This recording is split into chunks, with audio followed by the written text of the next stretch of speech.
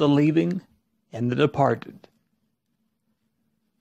Some say true altruism doesn't exist.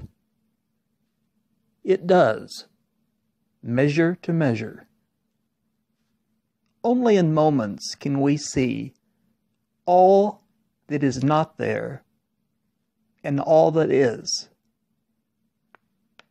An evening primrose blooms and withers in a single evening, its petals reflecting that which is true in a world of saturated blue. The four winds blow.